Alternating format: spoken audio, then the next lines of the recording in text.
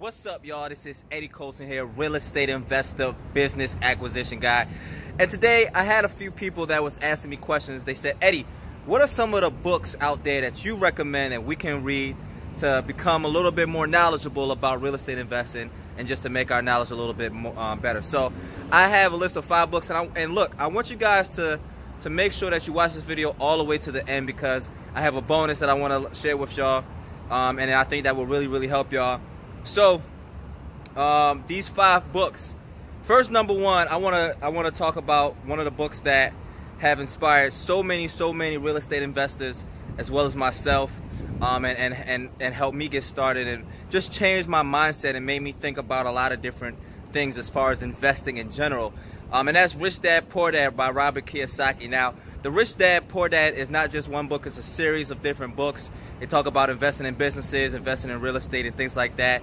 It goes over assets, liabilities, and um, the cash flow quadrant. So you have, you know, the different things like big businesses, small businesses, um, you know, corporation, and, and just self-employment, and the different things and the different things of that nature, and how you can start investing in your business and investing in your future. And I think it's a great book to help you with your mindset, to just get you from switching over from the consumer mindset and over to the producer and the investor mindset where you're not just looking to spend money every weekend but you're looking to save that cash flow and how important that is to invest into your future so that's book number one book number two is the millionaire real estate investor by gary keller. Uh, this book is a phenomenal book.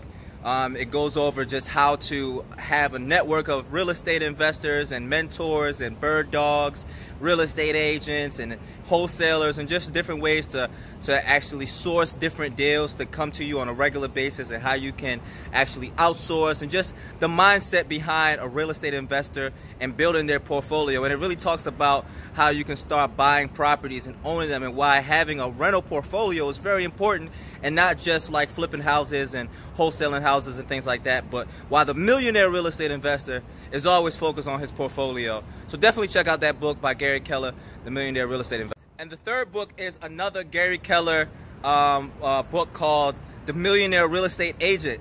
Now, I'm not a real estate agent. You know, um, I, I, work with a lot of agents. I wholesale. I wholesale a lot of different properties um, throughout the United States.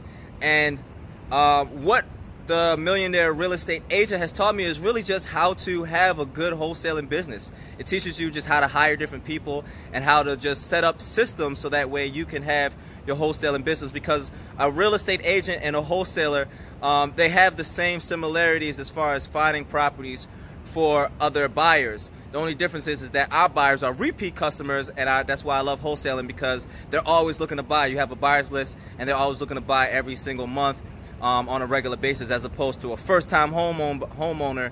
Um, they may buy a house maybe twice in their entire lifetime. So, you know, I really like this book because it just talks about the systems, hiring different people, and how you can set those things up. So, number three, Gary Keller, Millionaire Real Estate. Number four is a book by Mike Butler. It's um, called Landlording on Autopilot. Now, this book is really good. Uh, once you start buying properties, you start acquiring them. And, and if you've taken a lot of the, the strategies that I've taught about creative financing and buying properties, owner finance, owner finance, um, you know, uh, subject twos and lease options, and you're able to acquire some rental properties, then this book is very important because it teaches you how to outsource and how to systemize your real your rental portfolio, um, so that way you're not always, you know, just chasing um, tenants and, and just doing some crazy stuff with with fixing up toilets and and all the just headaches that comes with being a landlord. So you want to have your portfolio on autopilot and have it as passive as possible, even though it's residual. You know, you got to know the difference between residual and passive. But have it as passive as possible to where it's working on autopilot, and then you're not the one that's just going out to the properties on a regular um, day basis. So definitely landlording on autopilot is number four. And number five is a book by my man Peter Harris, Commercial Real Estate Investing for Dummies. Now don't be offended by the book title.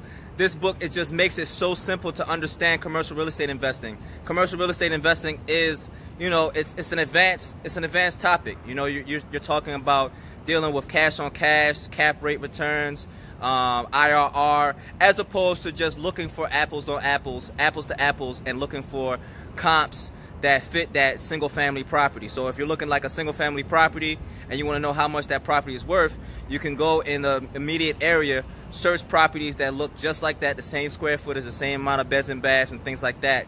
See how much they are selling for, and then I can give you an idea of how much that house that you're trying to buy is worth.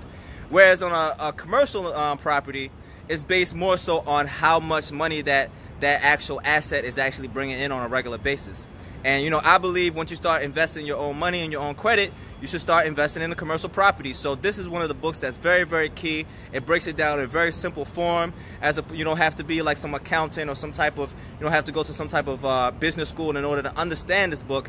This book is very simple and it really breaks down things very well. So my man Peter Harris, Commercial Real Estate for Dummies. Um, and I'm glad you guys stayed to the end because the bonus that I want to give you guys is my book, my personal book that I wrote. It talks about wholesaling houses with little to no marketing money. See, I find that a lot of people, they've learned uh, from other gurus, from other courses and things like that, how to spend a lot of money on marketing. We tell you that, hey, wholesaling, you don't have, you don't need any money to invest.